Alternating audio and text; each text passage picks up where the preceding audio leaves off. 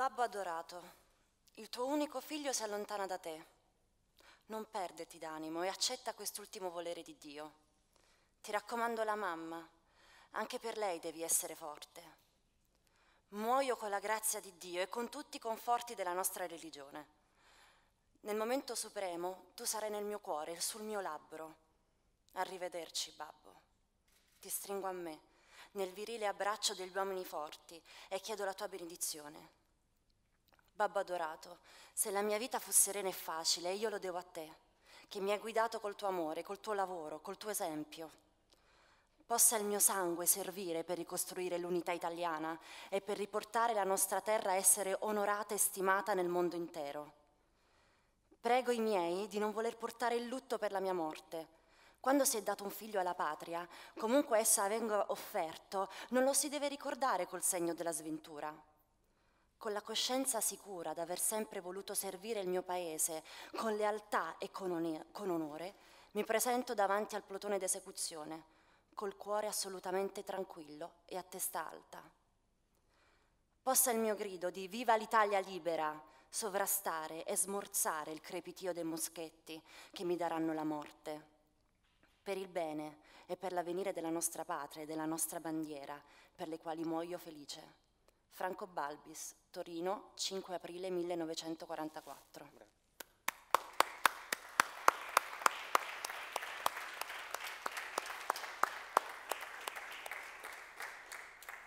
possa il mio sangue servire per ricostruire l'unità italiana e rendere di nuovo la nostra terra onorata e stimata nel mondo intero. È una frase che a sentirla oggi c'è da sentirsi un verme. Andrebbe mandata a memoria, fatta recitare a tutti i candidati alle cariche pubbliche, agli eletti in Parlamento, ai condannati per corruzione.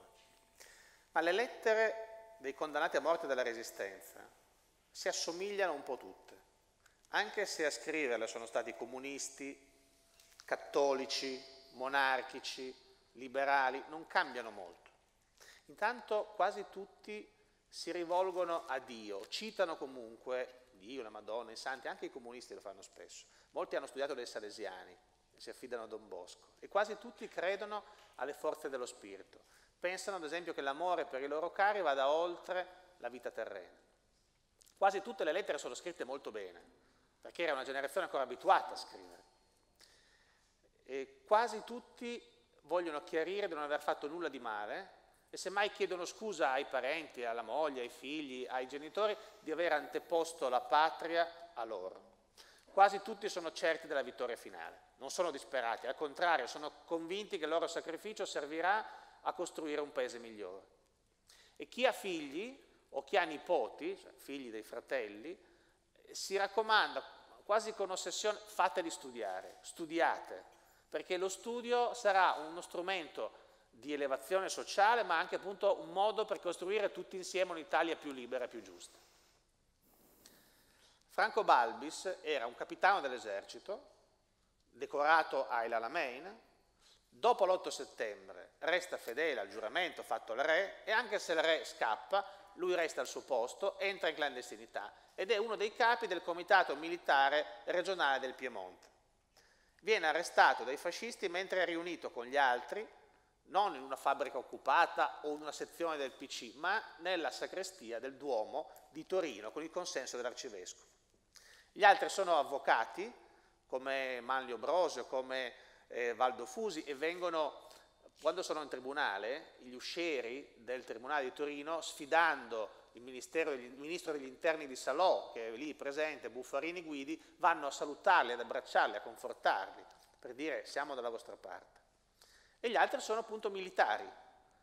Il tenente Geuna, il c'è un sottotenente, c'è un capitano, capitano Biglieri, il sottotenente si chiama Giacchino, e poi c'è il generale Perotti.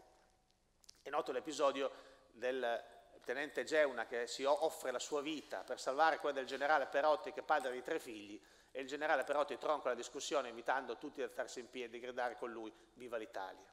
E si alza anche l'unico comunista che faceva parte del comitato di resistenza che viene arrestato e fucilato anche lui, si chiamava Eusebio Giambone, era un operaio, un amico di Gramsci, era stato arrestato dal fascismo, era fuggito in Spagna Il suo primo figlio, che si chiamava un nome francese, era andato a combattere in Spagna ed era andato poi in Francia, è dato al primo figlio un nome francese, Régis, ma il figlio è morto di meningite. È rimasta una bambina, Gisella, e questa è la lettera che Eusebio Giambone scrive alla figlia bambina Gisella prima di essere fucilato.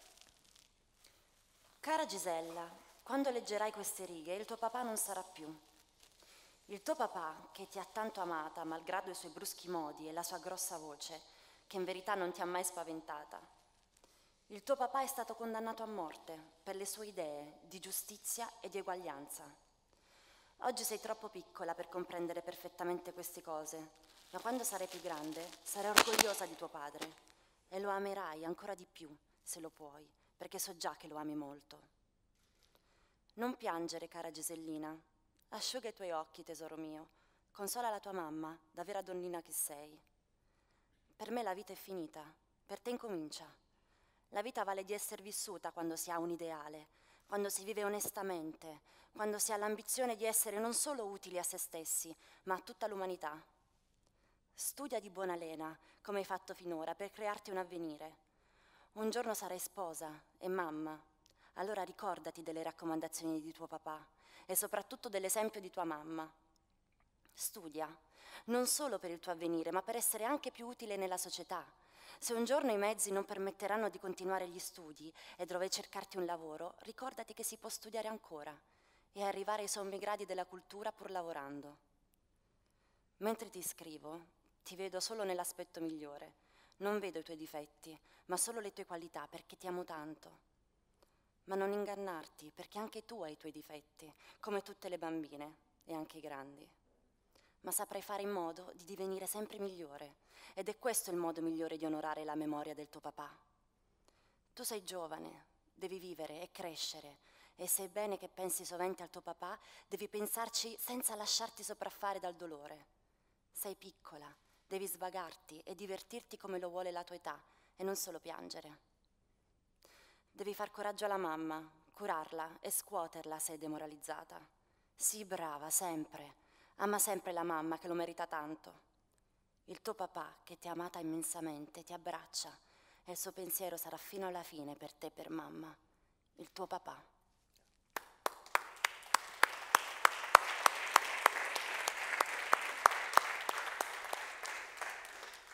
Gisella Giambone sarà a lungo una deputata del Partito Comunista eletta a Torino, ma è straordinario il contributo che le donne italiane danno alla resistenza. Perché la resistenza, come la intendo io, non fu fatta soltanto dai partigiani, fu fatta dagli ebrei, dai carabinieri, dai militari, dagli internati in Germania che preferirono restare nei lager piuttosto che andare a Salò a combattere altri italiani, fu fatta dagli operai che riuscirono a non essere deportati in Germania e agli imprenditori che li protessero, ai ferrovieri che rallentavano i treni in modo che i prigionieri potessero saltare giù, fu fatta dai contadini che sfamarono i partigiani, curarono, dai medici che curarono i feriti. La resistenza appartiene alla nazione, non a una fazione. E le donne diedero un contributo straordinario. Donne come Cleonice Tomassetti, che muore insieme con altri 42 uomini, eh, là dove il, il toce esce dal lago Maggiore. Questa donna viene fucilata fino all'ultimo e lei a fare coraggio agli altri uomini. E quando i fascisti i nazisti la, la picchiano, la umiliano, lei dice non fate così perché se percuotendomi volete umiliare il mio corpo è superfluo farlo, esso è già annientato, ma se volete umiliare il mio spirito, ecco sappiate che non ci riuscirete mai una donna di un coraggio straordinario, l'uomo che sopravvive, un medico, e annota questa frase, si stupisce che una donna abbia dimostrato tanto coraggio e tanta forza d'animo. Oggi noi potremmo rovesciare questa affermazione, tant'è che è lei a fare coraggio agli uomini. Donne come Irma Bandiera, che entra nei GAP a Bologna, viene fatta prigioniera e non parla, non rivela i nomi nasconditi dai compagni. I fascisti gli dicono se non parli li portarono davanti a casa dove c'erano i suoi figli e le dissero se non parli non li vedrai più. Lei non parlò e i fascisti le cavarono gli occhi. Poi le scaricarono addosso Mitra e lasciarono per due giorni il corpo lì all'inizio dei portici che da Bologna salgono verso San Luca, il santuario dei bolognesi. Donne come Cecilia De Ganutti, che era di Udine ed era un'infermiera volontaria. Aveva assistito gli internati italiani in Germania, poi era tornata in patria, fu tra le fondatrici delle brigate Osoppo, le brigate cattoliche del Friuli, insieme con un'altra donna, Paola Del Din. Cecilia De Ganutti fu, morì nella resiera di San Sabba a Trieste, l'unico campo di concentramento in Italia che avesse il forno crematorio. Gabriella degli Esposti, di Reggio Emilia, fondò i gruppi di difesa delle donne e animò degli scioperi contro la guerra. I fascisti giurarono che gliel'avrebbero fatta pagare e un giorno la portarono con altri 12 uomini sul greto del Panaro e la fucilarono. E dal suo nome, dal suo sangue, nacque la formazione Gabriele degli Esposti, che fu l'unica formazione partigiana composta interamente da donne. Donne come Iris Versari, che si innamora di Silvio Corbari, un partigiano audacissimo, e un giorno insieme con i compagni vengono circondati dai fascisti, lei è ferita a un ginocchio, lui esita, l'unica chance è fuggire, ma lui esita a fuggire perché non vuole lasciarla lì e lei si suicida per lasciare sì che il suo uomo possa, possa fuggire.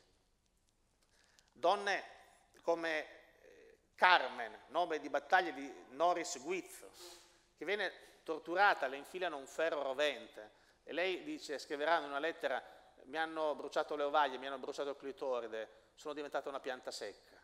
E lei però tiene a nota tutti i nomi dei torturatori e li fa condannare. E quando vede che alcuni vengono amnistiati, non potendo sopportare di vivere in un paese così, se ne va in Argentina dove morirà suicida a Buenos Aires.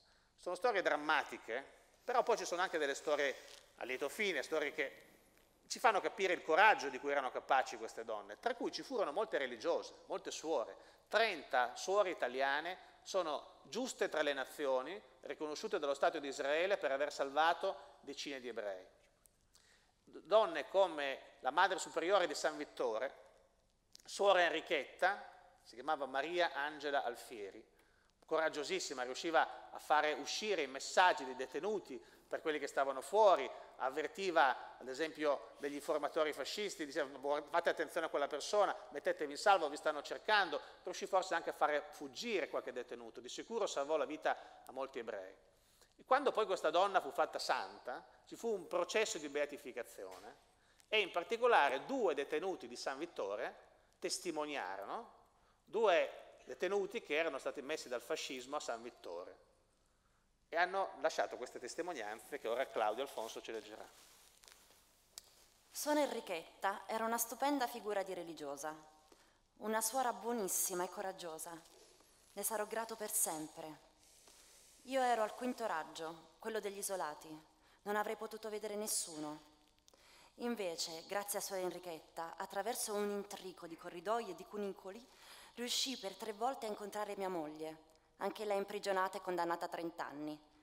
Suor Enrichetta era amatissima da tutti i detenuti. Tutti noi ricevevamo, grazie alla sua regia, bigliettini e informazioni. Così grande era il conforto di quegli incontri furtivi, così immensa la gratitudine per chi con grande rischio personale li rendeva possibili, che ancora oggi il ricordo di Suor Enrichetta e della sua veste frusciante suscita in me la devota ammirazione che si deve ai santi o agli eroi, in questo caso entrambi. Indro Montanelli. Ci facemmo avanti per bussare alla porta del carcere femminile. Ci aprì una suorina che non mi dimenticherò mai. Si chiamava Suor Enrichetta Alfieri. Evidentemente informata in precedenza, andò immediatamente a aprire la cella della mamma. Non so come descrivervi la commozione per questo incontro così drammatico. Non ci dicemmo molte parole, fu tutto molto veloce e intenso, soprattutto ricordo le nostre lacrime. Questi incontri clandestini si verificarono poi altre tre o quattro volte, sempre con grande rischio da parte di entrambi e di suora Enrichetta. Mike, buongiorno.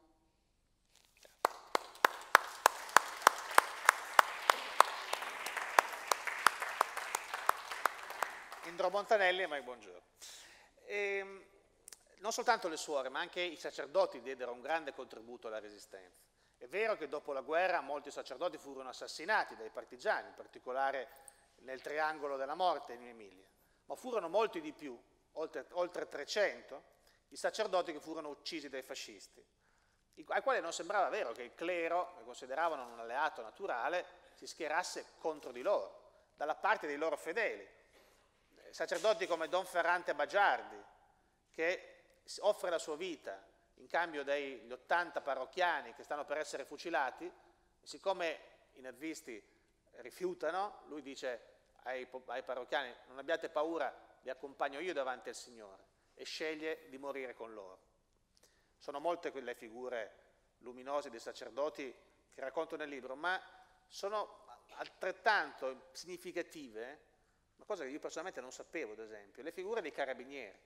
Migliaia di carabinieri fecero la resistenza, perché erano, avevano giurato fedeltà al re, quindi non potevano seguire Mussolini. Molti furono deportati dai tedeschi, che sapevano di non poter contare su di loro. Molti riuscirono a passare le linee e a combattere insieme con gli alleati che risalivano la penisola, insieme ai bersaglieri che combatterono a Montelungo, insieme ai militari della divisione Legnano. Altri eh, rimasero nel nord occupato e aiutarono i partigiani, spesso a rischio della vita. Molti conoscono la storia di Salvo d'Acquisto, che si fa uccidere per evitare la rappresaglia per un attentato che non ha commesso. È meno nota la storia dei tre martiri di Fiesole, tre carabinieri che vanno scientemente incontro alla morte, decidono di consegnarsi per salvare la vita a dieci civili di Fiesole che stanno per essere fucilati. E vengono uccisi con un colpo alla nuca nello stesso stanzino, a un piano di sotto, nella stessa casa dove sono, dove sono tenuti gli ostaggi, che li sentono gridare viva l'Italia, sentono i tre colpi. E uno dei questi, i carabinieri a Roma fondano una banda, la banda Caruso, che agli ordini del colonnello Montezemolo cerca di coordinare la resistenza, di tenere i rapporti con gli alleati che sono fermi ad Anzio e a Cassino, trasmettere indicazioni sui movimenti tedeschi. E uno di loro si chiamava Angelo Ioppi, era un tenente dei carabinieri. Ha, ha scritto un libro, Non ho parlato, in cui racconta le torture terribili cui fu sottoposto. Pensate che quando arrivarono a Roma gli americani, 4 giugno del 1944, andarono a liberare i prigionieri, quest'uomo era ridotto in condizioni talmente spaventose, sembrava un ecce homo, no? il Cristo dopo la flagellazione, che gli americani lo fotografarono e pubblicarono la foto su Life, la, la, la rivista che era un po' la Bibbia dell'americano medio dell'epoca, per far vedere quanto erano cattivi i tedeschi, che cosa erano stati capaci di fare i tedeschi. Angelo Ioppi non fu portato alle Ardeatine, dove morirono molti altri carabinieri, compreso tra l'altro militari come il colonnello Montezemolo, perché non lo fu portato perché i suoi carceratori volevano piegarlo, volevano a tutti i costi farlo parlare. E nella biografia autobiografia di Ioppi c'è un dialogo, che ora Claudia ci leggerà, che io riporto nel libro, un dialogo tra Angelo Ioppi, tenente dei carabinieri, e Kappler. Kappler, più giovane, forse è un nome che non vi suona, ma per la mia generazione Kappler era il boia delle Ardeatine che riuscì a fuggire in modo rocambolesco, nascosto dentro una valigia dalla, che la moglie portò via e negli anni 70 causò la dimissione dell'allora ministro della difesa. Kappler per i ragazzi della mia generazione era ancora un simbolo del male, di quello che i tedeschi avevano fatto all'Italia. E questo è il dialogo tra Kappler e il carabiniere Ioppi in uno dei giorni appunto in cui questo carabiniere a Regina Celi veniva torturato. Tu sei il polisaio Ioppi? Sì, brigadiere dei carabinieri. Tu non vuoi parlare. Io non posso dir niente perché non so niente. Tu uccisi molti tedeschi. Io? No. Tu fatti saltare carichi di benzina. Io? No. Allora tu innocente, ma parlerai con me. E afferrando una mazza di ferro, vedi questa? Tu caput. Non conosco il vostro grado. Potrei dire una parola? Ah, ora dunque parli, eh? Sì, parlerò. Voi amate la patria? Certamente, io amarei molto mia patria. Ebbene, io non appartengo a nessun partito. Sono semplicemente un italiano che ama la sua patria e la sua casa. Secondo voi ho mancato perché vi ho tradito? Allora come traditori fucilatemi, ma non torturatemi così. Tu devi parlare. Io non posso vedere nessuno straniero nella mia patria. Vi ripeto che se devo pagare con la mia vita, pagherò. A questo punto vidi Kapler venirmi incontro ed ebbi l'esatta impressione che volesse stringermi la mano. Era visibilmente commosso.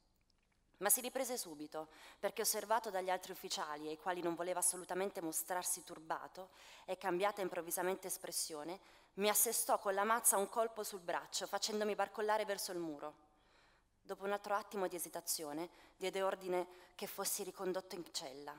Da alcune parole proferite intuì che avesse dato disposizione perché per quella sera non fossi torturato.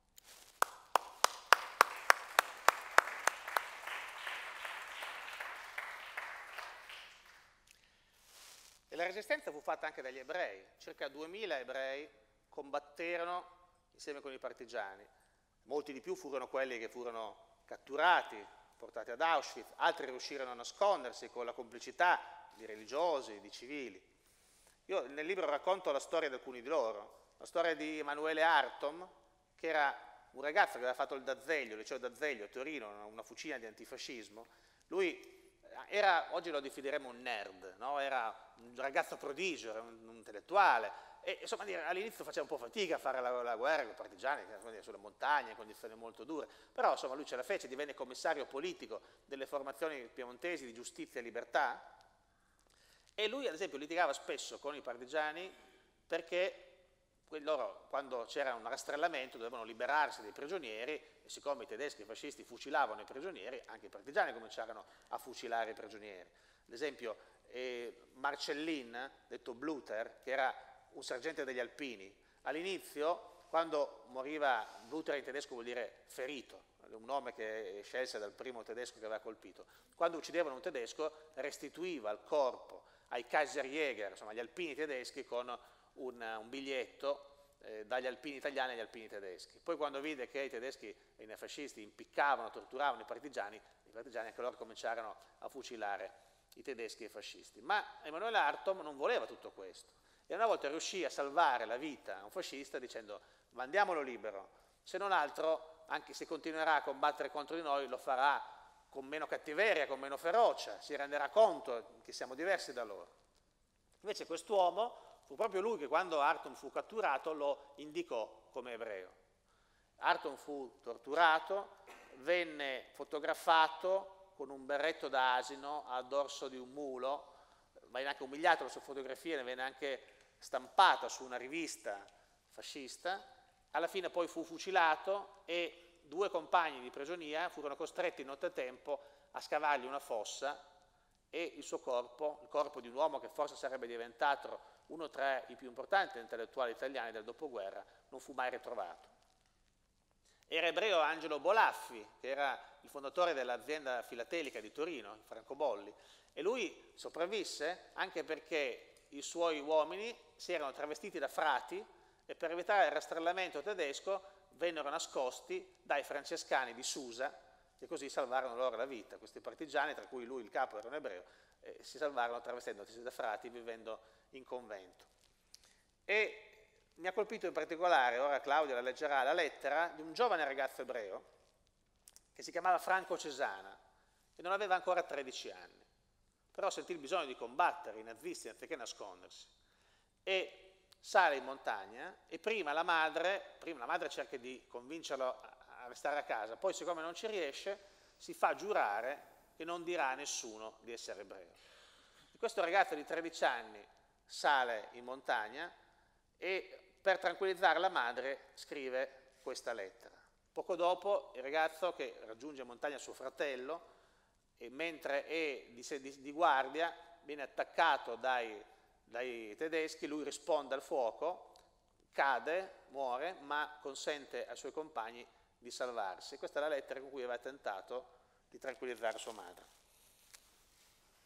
Carissima mamma, Dopo la mia scappata non ho potuto darti mie notizie per motivi che tu immagini. Ti do ora un dettagliato resoconto della mia avventura. Partì così all'improvviso, senza sapere io stesso che cosa stavo facendo. Camminai finché potevo, poi mi fermai a dormire in un fienile. Al mattino, svegliandomi con la fame, ripresi a camminare in direzione di Gombola, sfandandomi con le more. Arrivai in paese verso le nove e di lì cercai i partigiani, deciso a entrare a far parte di una qualche formazione. Riuscii a trovare patrioti che mi insegnarono la strada per andare al comando che si trovava a Maranello di Gombola. Arrivai nella detta località stanco morto, ma mi feci coraggio e mi presentai. Dopo un po' mi si presentò l'occasione di entrare a far parte della formazione del comandante Marcello. Sei contenta? Presentandomi a Marcello fui assunto e siccome ho studiato fui dislocato al comando e attualmente mi trovo stabile e relativamente sicuro in una località sopra Gombola. Così non devi impensierirti per me che sto da re. La salute è ottima, solo un po' precario il dormire. Per chiarire un increscioso incidente ti avverto che non ho detto quella cosa che mi hai fatto giurare. Così chiudo questa mia, raccomandandoti alto il morale, che ormai abbiamo finito. Affettuosamente ti bacia e ti pensa il tuo tesoro. Appena ricevuto la mia, bruciala. Ancora ti saluto e ti abbraccio. Franco.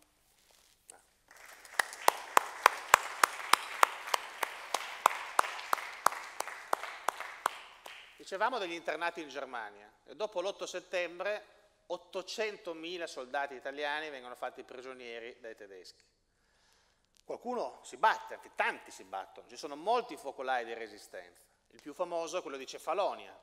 La resistenza comincia lì, dove i militari dell'Acqui votano con un referendum per decidere se arrendersi o combattere i tedeschi. E combattere i tedeschi significa quasi certamente morire. Eppure il 90% vota per riscattare la dignità, l'orgoglio nazionale, piuttosto che arrendersi. E questo forse è il primo episodio di resistenza. Certo, non è una resistenza politicamente consapevole, non è che si sceglieva apertamente l'antifascismo o la Repubblica contro la monarchia, si decideva di non arrendersi ai tedeschi.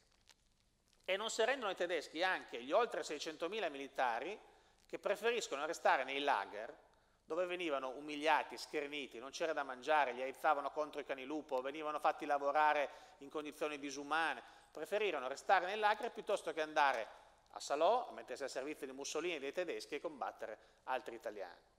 Tra loro c'erano personaggi insospettabili, c'era Giovanni Guareschi, l'inventore di Don Camillo Peppone, che parteggiava apertamente per Don Camillo, no? però è un uomo che, resta nei lagri e dice non muoio neanche se mi ammazzano. E c'era Beniamino Andreatta, che era il padre di Nino Andreatta, si chiamavano tutti e due Beniamino. Andreatta è il ministro, che forse qualcuno di voi ricorderà, l'inventore dell'ulivo. Il padre fu internato in Germania, rimase tutta la guerra nei lager e fece una sorta di inchiesta, interrogò tutti gli italiani che trovava, si faceva raccontare i maltrattamenti, le botte, le umiliazioni subite nelle fabbriche, nelle miniere dove gli italiani avevano sempre i posti più pericolosi, i turni più faticosi e scrisse questo lungo e dettagliato rapporto che poi mandò a De Gasperi dopo la guerra e questo rapporto fu chiuso negli archivi e tuttora giace negli archivi della Presidenza del Consiglio non è mai stato pubblicato. Perché? Perché si voleva cancellare quella memoria, perché le sofferenze degli internati non servivano a nessuno. L'esercito preferiva dimenticare il disastro dell'8 settembre, la sinistra non la considerava roba sua, ma tantomeno la DC. Voi sapete che i documenti sulle stragi dei nazifascisti eh, sono stati chiusi in un armadio messo con le ante contro il muro, in cui in modo che nessuno lo potesse aprire, perché non si volevano rogne, non si volevano guai, non si volevano contenziosi con la Germania. Anche, in, anche per questo i nostri ragazzi molto spesso non sanno cosa è successo a Boves, a Marzabotto, a Sant'Anna di Stazzema, a Gubbio, a Civitella Valdichiana, alla Benedicta, nei vari luoghi dove si consumarono le stragi di civili commesse dai nazisti, a volte purtroppo con la collaborazione dei fascisti. Ebbene, i militari restano nei lager e in particolare mi ha colpito la lettera di uno di loro, che è il capitano Giuseppe De Poli. Risponde a suo fratello, perché molto spesso i genitori, i, le mogli, i fratelli scrivono a questi militari dicendo ma che ci fai in Germania? Torna qui, devi aderire al Salò, pazienza, poi magari scappi, ma intanto torna in Italia. E De Poli, che era responsabile degli ufficiali italiani del suo campo, dice io non posso tornare, perché se cedo io cedono tutti. E tu, fratello mio, parli bene, sei in Italia, ma tu non hai visto, come, non hai visto uccidere i russi, non hai visto uccidere i polacchi, non hai visto come ci trattano, come ci aizzano contro come lupo, come ci, ci, ci fustigano sul viso, sulla schiena, una lettera drammatica, abbastanza lunga, va ascoltata con attenzione, ma io ho scelto di proporvela perché credo che si capisca bene con quale animo questi uomini hanno detto di no ai nazisti e ai fascisti. Eh. Hammerstein, Germania, 5 aprile 1944. Carissimo Nando, desidero dirti che ho letto con molta attenzione e serenità la tua lettera. Aggiungo che non ne sono stato sorpreso. Essa è del tenore abbastanza comune, come quello di altre lettere ricevute dai miei compagni di prigionia. Tristi lettere che preferiremmo oggi di non ricevere, ma che forse saremo un giorno lieti, come del massimo riconoscimento di avere ricevuto. Nessuno potrà comprendere, forse, quello che noi abbiamo compreso. Tu non sei stato strappato con volgare inganno, con inganno che da solo basta a disonorare una nazione, alla tua famiglia, alla tua casa, alla tua patria. Tu non hai visto le caserme devastate. Sotto i tuoi occhi non hanno ferito o ucciso donne, re, di aver buttato a noi qualche pezzo di pane. Tu non sei stato disarmato. Tu non hai provato il viaggio dall'Olanda alla Polonia, affamati, assetati, chiusi peggio che bestie nei carri. Tu non hai sentito e subito il frustino sulla schiena, sul viso. Contro di te non sono stati aizzati i cani, non sei stato azzannato dai cani. Tu non hai vissuto in queste baracche, e non per giorni, ma per mesi, 45, in 64 metri quadri. Tu non sai cosa sia una perquisizione, atto ufficiale, controllato, preordinato. Tu non sai cosa sia la conta. E non è tutto. Tu non hai visto lo spettacolo della deportazione dei civili in Polonia. Tu non hai portato alla sepoltura i compagni morti. Tu non hai visto i russi. Non sai come siano trattati, vivi o morti i russi. E noi, da qualche punto di vista, abbiamo un trattamento peggiore. Noi, ufficiali di un esercito già alleato. Tu hai resistito a Reggio perché sentivi nella tua coscienza di dover resistere. Ma a te nessuno della tua famiglia ha chiesto di cedere. Nessuno ti ha esortato a cedere. Io ho letto di madri, mogli, figli che chiedono, implorando in buona fede, una firma disonorevole. Io stesso ho ricevuto, e non solo una volta, una invocazione rivolta al mio cuore di marito e di padre. È la prova suprema per un uomo. Ma c'è qualcosa in me, in noi, che supera ogni lato affettivo, ogni tentazione, ogni lusinga. Qualcosa che ci permette di vincere anche il nostro egoismo, che si fa spesso prepotente. È di ieri la nuova minaccia da parte del comando tedesco di lanciare di nuovo contro di noi cani. È recentissima la disposizione di lasciare senza carbone un'intera camerata. È di oggi l'ordine impartito alle sentinelle di sparare contro chi si avvicina ai reticolati, reticolati interni. Ordine già un paio di volte eseguito. Non è lontano quel giovedì santo in cui abbiamo portato al cimitero un nostro ufficiale morto di fame. Un secondo, purtroppo, lo porteremo tra pochi giorni. Noi non vogliamo restare qui, come qualcuno insinua per vigliaccheria, quasi imboscati. Siamo tutti ex combattenti, molti decorati, molti volontari. E del resto, noi abbiamo i nostri morti, e questo è forse peggio che una prima linea di combattimento. Noi non siamo degli attendisti, come qualcuno ci chiama. Non siamo ancora qui per la speranza di una vittoria russa e anglo-americana. Non è per calcolo, né per capriccio, né per puntiglio, ma solo per coerenza per un principio di dignità, di onore, di giustizia. Molti hanno ceduto alla fame, molti alla illusione, molti purtroppo all'invocazione dei familiari. Da 1600 siamo ridotti a 650 e probabilmente ci ridurremo ancora un poco, ma anche i pochi saremo sempre in numero sufficiente a dimostrare che vi sono degli italiani pronti a sacrificare tutto per un'Italia rispettata, onorata.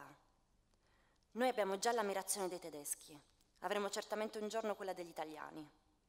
Infine, io sono il comandante di questo campo. Cosa avverrebbe anche qui se anch'io, come ha fatto il comandante del campo adiacente, dessi la mia firma? Tu non sai quello che si è tentato con le buone e con le cattive per, farmi cedere. La mia firma significherebbe la fine della resistenza di tutti. Torneremo, e presto, ma torneremo a testa alta per il nostro dovere compiuto fino in fondo. E chi non potrà tornare non sarà caduto per nulla. Io so, e mi è di grande conforto, che in qualsiasi caso non verrà mai meno ad Anne e alle mie figlie il vostro aiuto. Io sono sempre qui per esse, per voi tutti, perché non dobbiate vergognarvi di me. Quando saprete tutto, ci darete ragione. Ti abbraccio, Giuseppe.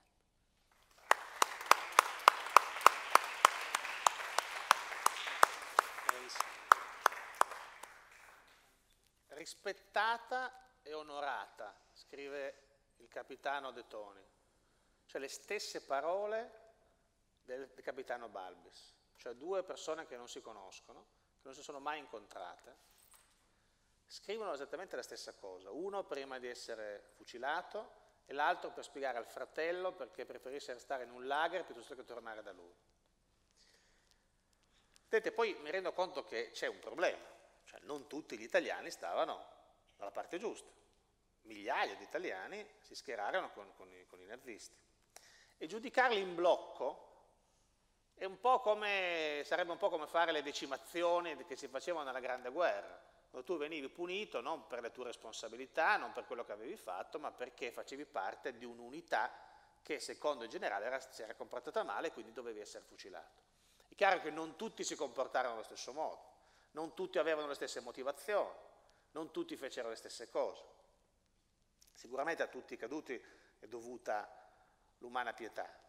Sicuramente la resistenza ha avuto delle pagine nere e vanno raccontate anche quelle, non dobbiamo averne paura, vanno raccontate a, a maggior ragione proprio nell'interesse della grande maggioranza di coloro, che, dei, dei, resistenti che non, avevo, non hanno non, nulla da rimproverarsi. Io nel libro ad esempio racconto la storia di Porzus, le baite dove c'erano i partigiani delle brigate Osoppo, i partigiani cattolici, che vengono assassinati da partigiani comunisti che ormai sono egemonizzati dai, dai titini. Tra di loro c'era Francesco De Gregori, il fratello, lo zio, il fratello del padre del cantautore che, che ne porta il nome, che però ha scritto questa canzone bellissima, Il cuoco di Salò, una canzone piena di pietà verso i caduti e, verso, e anche verso appunto, i, cosiddetti ragazzi di Salò, ma una canzone in cui il dolore familiare non gli fa velo e non gli impedisce di ricordare che nella guerra civile c'era una parte giusta e una parte sbagliata. E tra gli assassinati di Porzus c'era Guidalberto Pasolini, detto Guido, il fratello di Pierpaolo Pasolini. Nel libro c'è la lettera che Guido Pasolini scrive al fratello Pierpaolo per raccontare le umiliazioni, la, la paura che devono vivere loro per difendere il tricolore e chiede infatti a Pierpaolo di alla mamma che mi mandi dei fazzoletti tricolori e adesso scusami se non posso rileggere la lettera, te la devo mandare subito perché devo salire in montagna. Cioè questo fratello, siccome sa che descrive il fratello grande scrittore, si vergogna di come scrive lui e quindi dice scusa, mi paziente, non ho avuto tempo di rileggerlo.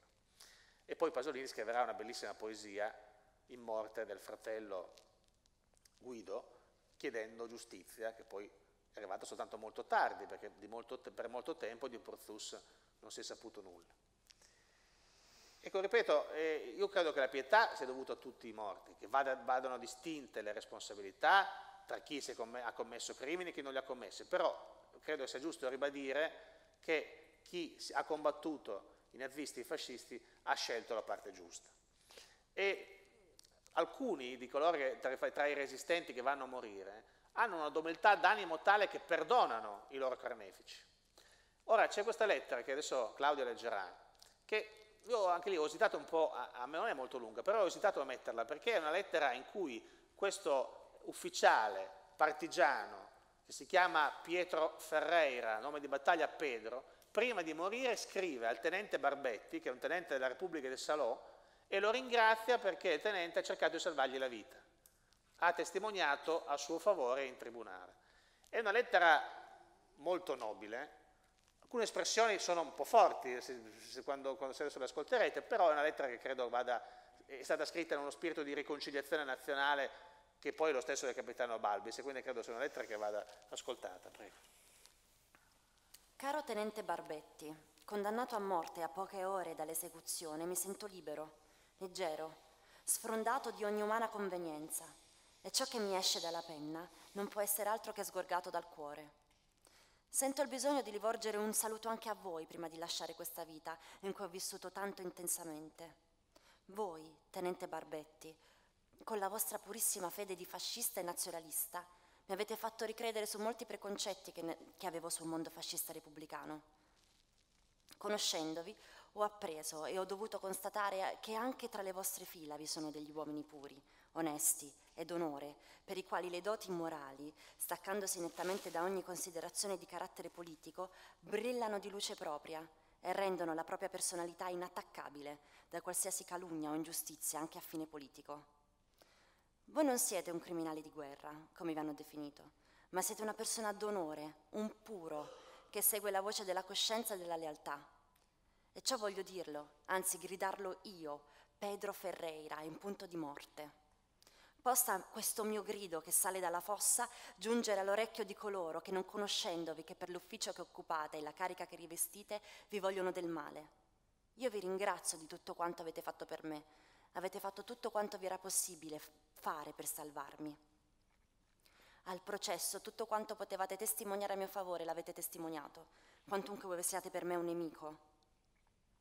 Nuovamente commosso e riconoscente, vi ringrazio e vi auguro di ritornare felice domani in un'Italia rinata a nuova vita, con la vostra signora e i vostri bambini nella vostra natia Capua, ove vi sarei venuto a trovare un giorno se il destino non mi fosse stato così nemico.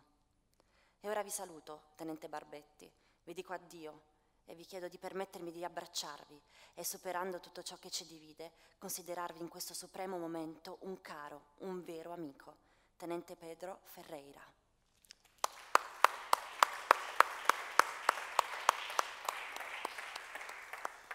Pensate che il 25 aprile Mario Sironi, grande pittore che era stato fascista nella prima, nella prima ora ed era rimasto fascista anche durante il Salò, scappa per salvarsi dal, dal, dalle stragi che ci sono state, eh, sia a Milano sia a Torino dopo il 25 aprile, e viene, scappa con il cane, cerca di raggiungere la Svizzera, viene fermato dai partigiani. E il capo di questa pattuglia di partigiani è Gianni Rodari, partigiano comunista, poeta, di cui tutti quanti a scuola abbiamo studiato le poesie. E Rodari si fa dare i documenti, apre la carta d'identità e vede Sironi Mario. Dice, ma siete voi il pittore delle periferie? E lui risponde sì. Ora, Sironi è palesemente, tutti sanno che è fascista, palesemente sta cercando di scappare.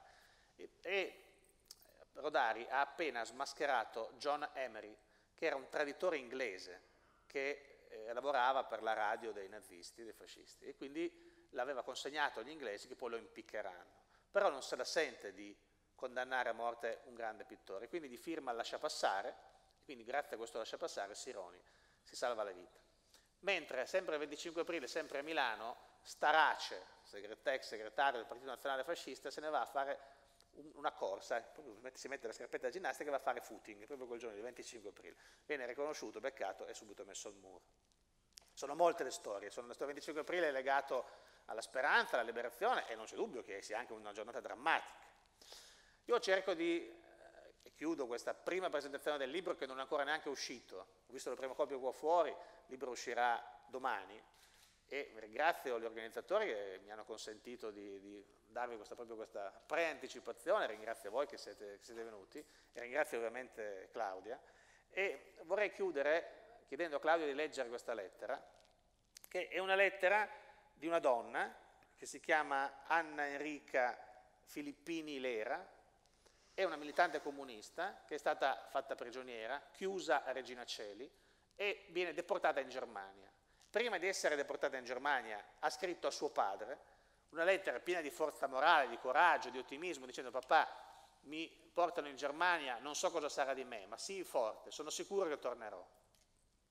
Ora scrive quest'altra lettera dopo il 25 aprile, quando è stata liberata, è ancora in Germania, lei non lo sa ancora, ma il suo fidanzato, che si chiamava eh, Paolo Buffa, ma era stato arruolato dagli inglesi, si faceva chiamare Paul Barton, sta venendo a prenderla, prende una jeep inglese, questo ragazzo va in Germania, la Germania del primo di maggio del 45, un paese distrutto, va a recuperare la fidanzata e la riporta a casa.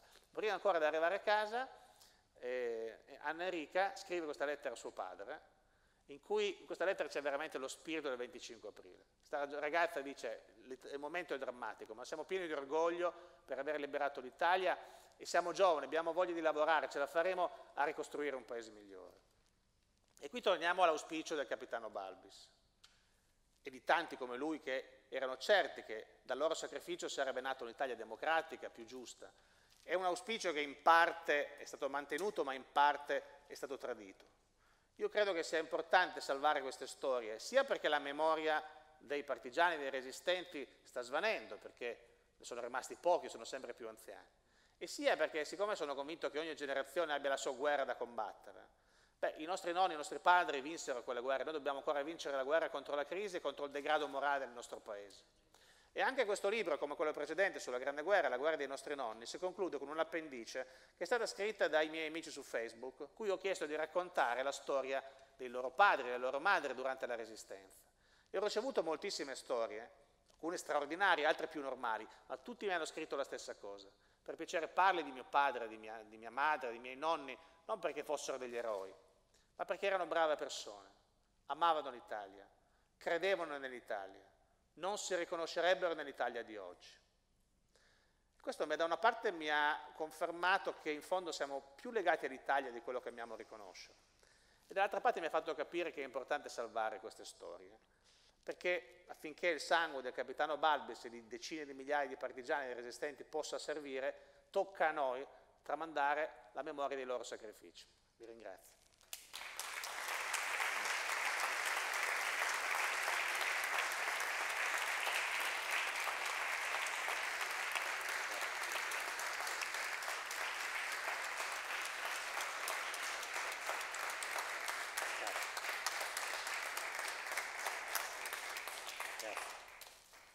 Babbino caro, quante cose vorrei dirti. Sono ancora così stordita dagli avvenimenti che tutto mi sembra un sogno. Il 29 aprile le truppe americane sono entrate in Aishak, dove si trova il nostro carcere, e noi siamo state liberate. Noi italiane siamo 12, tutte politiche, amiche e compagne, con le quali ho passato insieme il lungo periodo di carcere. È una grande famiglia e ci amiamo come sorelle. Puoi immaginare come siamo felici dopo tante giornate dure. Bambino mio, tanto caro, presto ci riabbracceremo, mi sembra un sogno. Il pensiero vostro e della nostra Italia non mi ha mai abbandonato un istante. Non essere in pensiero per me. Ho superato la prova del carcere brillantemente. Il fisico è buono e il mio orario è altissimo. Abbiamo sofferto tanta fame, ma di fronte a tanta sofferenza la mia piccola diventa ben poca. Abbiamo saputo come in Italia abbiate sofferto, ma abbiamo saputo anche che i nostri partigiani hanno liberato il nord Italia e questo ci ha riempito di orgoglio. Puoi immaginare come ogni notizia che venga dall'Italia sia per noi benedetta. Presto ritorneremo e potrò riprendere il mio lavoro. Tanto ci sarà da lavorare in Italia, ma non ci sgomenta. Lavoreremo e ricostruiremo la nostra vita e non ci sarà gioia più grande. Siamo giovani e l'entusiasmo non ci manca. Vedi, anche nei momenti più tristi in carcere, la serenità e la fede, una grande fede nell'avvenire, non, non mi hanno mai abbandonata. E ora, al pensiero di essere presto tra voi, carissimi, alla fede si unisce la gioia e la certezza di giorni luminosi che ci attendono. Babbino caro, ti abbraccio forte forte e ti bacio. Enrica.